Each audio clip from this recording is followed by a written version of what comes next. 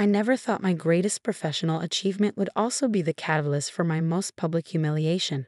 But standing in that gleaming conference room on the 47th floor of Quantum Dynamics headquarters, watching CEO Victor Blake's face twist with manufactured disdain, I realized that sometimes success makes you the biggest target.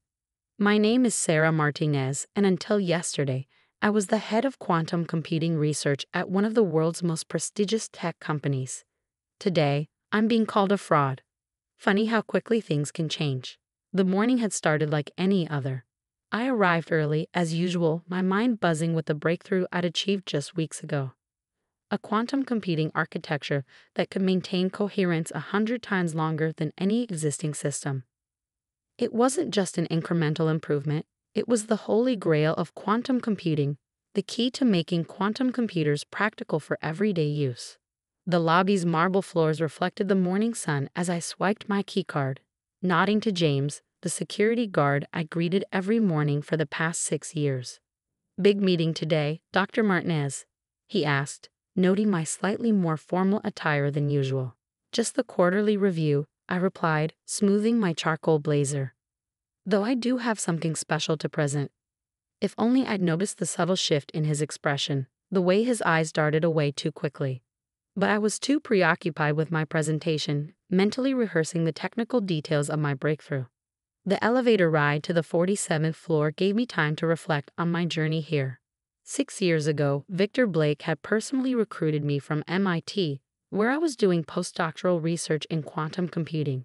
We need visionaries, he'd said during our first meeting, people who aren't afraid to think beyond conventional limitations. I believed him then. Quantum dynamics had been my dream job unlimited research funding, brilliant colleagues, and the chance to push the boundaries of what was possible. For five years, I'd given everything to this company, missed family events, worked weekends, poured my heart and soul into solving problems everyone else thought impossible.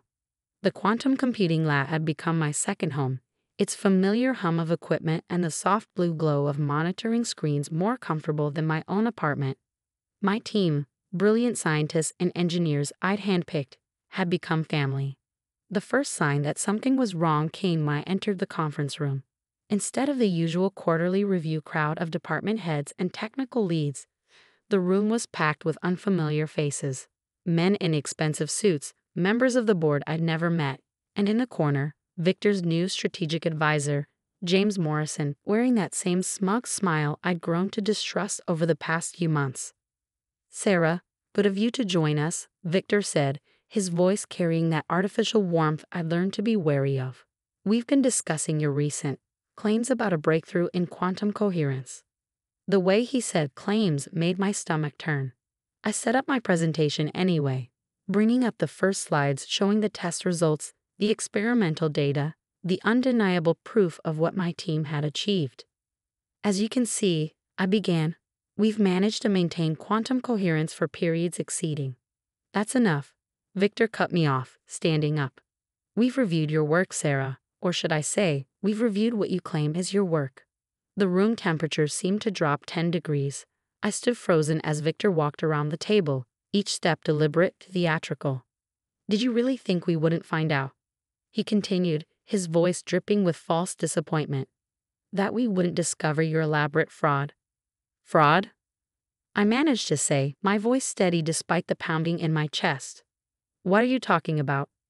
Victor pressed a button, and new slides appeared on the screen, slides I'd never seen before. Doctored data, manipulated test results, all made to look like I'd fabricated my breakthrough.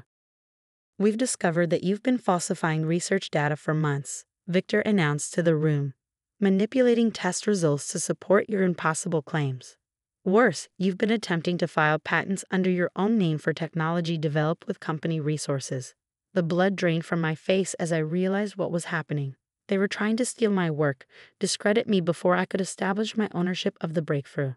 My mind raced back to three weeks ago when I caught James Morrison lurking in my lab after hours. He claimed he was just familiarizing himself with our research facilities. That's not true, I said, my voice stronger now, anger replacing shock. Every result has been independently verified by my team. Dr. Chen can confirm. Dr. Chen was relocated to our Singapore facility last week, Victor said smoothly. In fact, most of your team has been reassigned. They've all signed statements confirming their concerns about your research practices. My head spun. My entire team scattered across the globe. How long have they been planning this? As of this moment, Victor continued, clearly enjoying his performance. You are terminated from Quantum Dynamics. Security will escort you to clear your desk. Any attempt to dispute these findings or make claims about your alleged breakthrough will result in immediate legal action. The room sat in stunned silence. Board members avoided my gaze. Papers shuffled uncomfortably. James Morrison's smirk had grown wider. But something strange happened in that moment. Instead of the panic they expected, a sense of calm washed over me. Because in their eagerness to steal my work, they'd made one crucial mistake. They didn't know about the precautions I'd taken, the real patent applications, the encrypted data stored on secure servers they couldn't access. They thought they were watching me break. Instead, they were watching me realize exactly how to make them pay for their betrayal. Of course, I said quietly, gathering my things. I understand completely. Victor's triumphant expression flickered slightly, thrown off by my calm demeanor. As security approached to escort me out, I paused at the door and turned back to the room. Just one thing, Victor. You might want to check the patent office records tomorrow morning, and maybe have your lawyers review the company's position in the quantum computing market. Things could get interesting. The last thing I saw before the doors closed was Victor's confident smile beginning to crack. In the elevator down, flanked by two security guards, I allowed myself a small smile. They thought they'd stripped everything from me my job, my reputation, my life's work. But in trying to steal my breakthrough, they'd actually given me something invaluable the perfect opportunity for justice. Because what Victor Blake didn't know, what none of them knew, was that I'd seen this coming months ago, and I prepared accordingly. By tomorrow morning, they'd understand exactly what they'd done, and more importantly, what I was about to do. But that would have to wait. For now, I had a desk to clear, a plan to set in motion, and a very interesting phone call to make to the patent office. Sometimes the best revenge isn't about fighting back immediately. Sometimes it's about waiting for exactly the right moment to reveal the truth. And as I walked out of Quantum Dynamics' gleaming headquarters for the last time, I knew that moment was coming sooner than they could possibly imagine. The next morning, I sat in my home office, surrounded by three monitors displaying everything from patent office records to Quantum Dynamics' stock price. My phone hadn't stopped buzzing since 5 a.m. Reporters, tech bloggers, industry analysts all wanting to know about the mysterious new quantum computing patent that had just been made public. A patent that wasn't in Quantum Dynamics' name. I smiled, remembering the conversation I had six months ago with my old mentor from MIT, Dr. Alexandra Chen, no relation to my former team member. Sarah, she'd said, in this industry, brilliance isn't enough. You need to protect yourself. She'd been right. That's why I'd filed the patent applications through a separate company I'd established long before the breakthrough, Martinez Quantum Solutions. The applications had been timed to remain sealed until exactly one day after the quarterly review. My phone buzzed again. This time, it was Maria Torres from the Wall Street Journal. Dr. Martinez, she began, I'm looking at a patent filing that seems to describe a revolutionary quantum computing architecture one that could maintain quantum coherence for periods previously thought impossible. But it's not filed under quantum dynamics. That's correct, I replied calmly. The technology was developed independently through my own research company. But weren't you working for quantum dynamics until yesterday? I was. But my contract explicitly allowed for independent research and patent filings as long as they didn't use company resources something Mr. Blake seemed to have forgotten when he accused me of fraud. There was a pause as Maria processed this.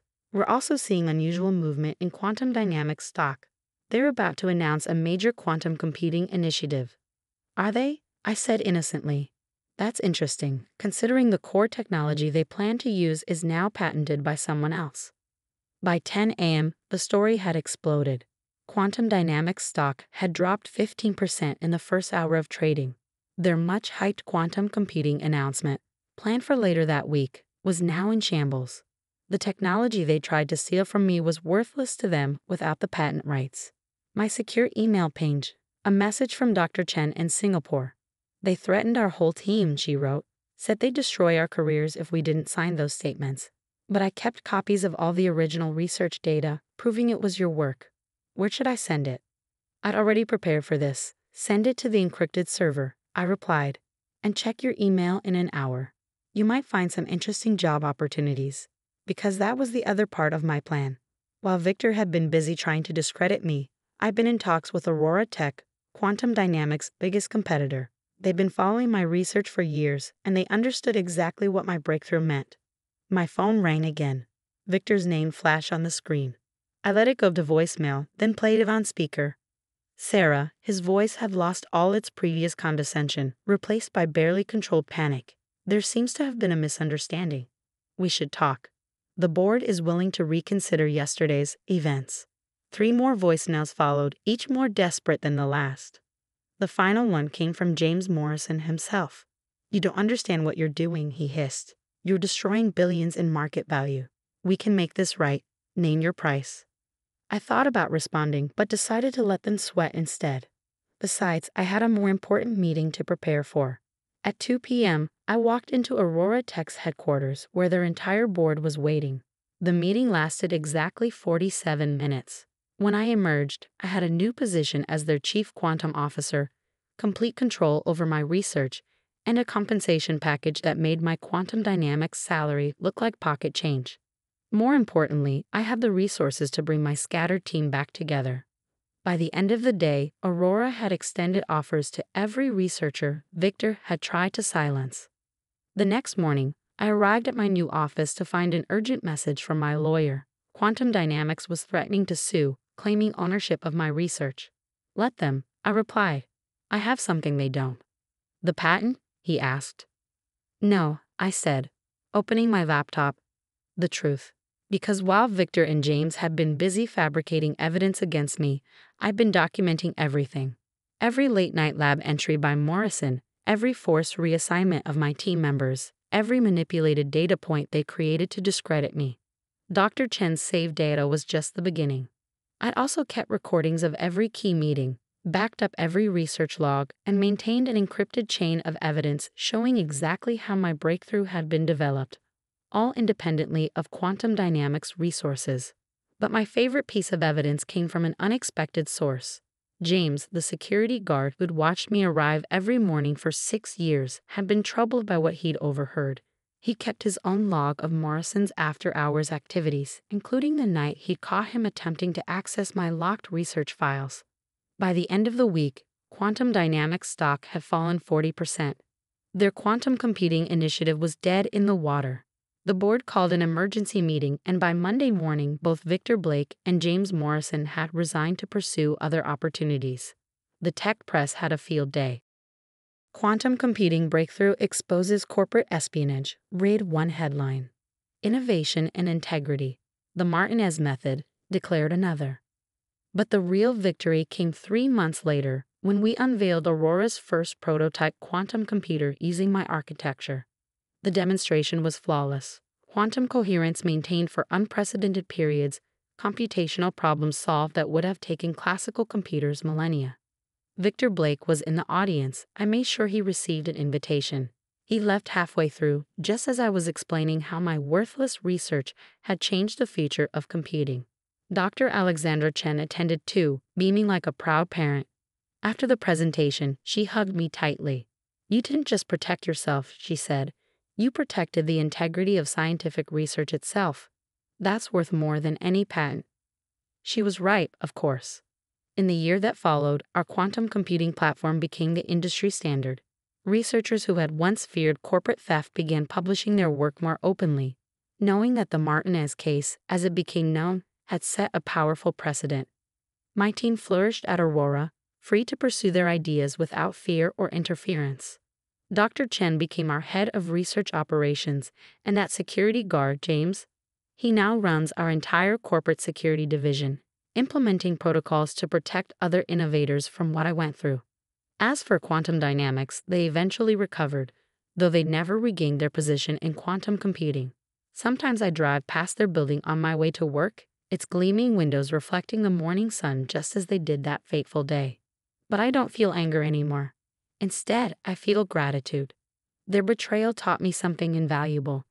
True innovation isn't just about scientific breakthroughs. It's about having the foresight to protect those breakthroughs and the courage to stand up for what's right. Last week, I gave a keynote speech at MIT's graduation ceremony. Looking out at those bright young faces, I shared the real lesson of my story. In science, as in life, it's not enough to be brilliant, you must also be wise. Document everything. Trust your instincts. And remember, sometimes the best response to those who try to diminish you is to rise so high they can't reach you anymore. The applause was thunderous, but I wasn't listening for it. I was watching the faces of the young researchers in the front row, seeing the same passion for discovery that had driven me all those years ago. They would face their own challenges, their own Victor Blakes and James Morrisons. But thanks to what happened at Quantum Dynamics, they would be better prepared. They would know that in the end, truth doesn't just prevail, it transforms entire industries. As I drive home each evening now, passing the quantum computing lab where my team works late into the night, I often think about that morning when Victor tried to destroy everything I built. He thought he was ending my career. Instead, he gave me the push I needed to change the world. Sometimes the greatest victories come not from fighting back, but from moving forward with such purpose and integrity that your success becomes your revenge. And sometimes the best way to prove someone wrong is to prove yourself right in ways they never imagined possible. That's not just a lesson in quantum computing, that's a lesson in life.